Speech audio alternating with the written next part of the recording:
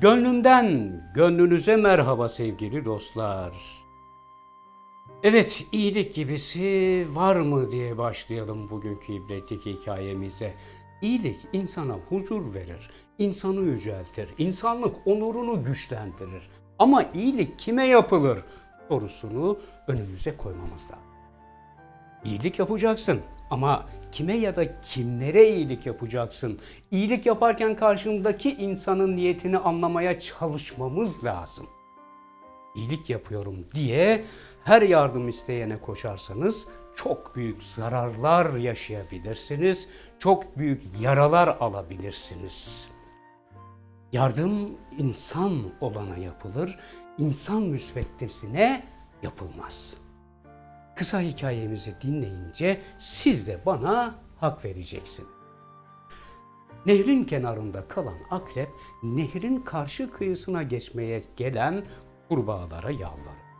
Yüzemiyorum, burada kaldım. Lütfen beni karşıya geçirin. Beni kurtarın. Büyüklerinin uyarısından ders al almayan yumuşak yürekli saf bir kurbağa akrebe yaklaşır. Sen zehirli misin? Ya seni sırtıma alıp da karşıya geçirirken beni ısırırsan? Akrep tüm sinsiliğiyle aptal mıyım ben? Hayatımı kurtaran birine ben ihanet eder miyim? diye yalvarışını sürdürür. Kurbağa akrebe acır. Sırtına bindirir ve nehrin tam ortasına gelirler.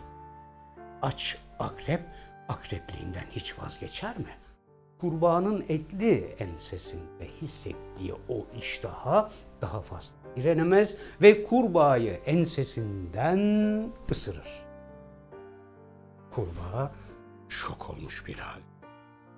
Ne yaptın sen aptal ikimizi de öldürdün diye inler ama iş işten gitmiştir. Kurbağanın ahmakça iyiliği yüzünden ikisi de boğulur. Sevgili dostlar, ataların bu anlatımından ilişkilerimize çok sayıda ders devşiririz. Her şeyden önce şunu önemli belirtmeliyim ki 25 yaşına vardı mı insan huyunu kemikleştirir. Akrep huyu bencilce hep kendine kesen, kinli, kibirli, adaletsiz, zalim, saygısız, sevgisiz, sorumsuz kimsenin huyudur. Çıkarcı insanları size yalvarırken değil, başkalarına davranırken de. Melek yüzlü, tatlı sözlü avcının akrep huyunu hoş görüp hayatına girmeyin. Huylu huyundan vazgeçer mi? Elbette ki vazgeçmez. Hatta can çıkar, huy çıkmazmış. İyi niyetlilik ve saflık görünüşte birbirine benzese de ilkine akıl İkincisine ise ahmaklık hakim. Gariban sandığı şeytanın değirmenine su taşıyana akıllı demezler, aptal derler. Üstelik zalime isteyerek eşlik eden safı da mazlum saymazlar, onun yerine koyarlar.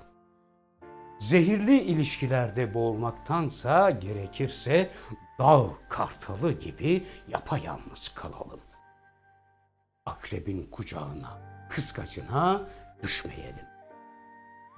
Bu defaki ibretlik hikayemizin de sonuna geldi. Her zaman söylediğimiz gibi hoşça kalın ama hep dostça kalın. Kanalımıza da dostça abone olmayı, videomuzu dostça beğenmeyi lütfen unutmayın.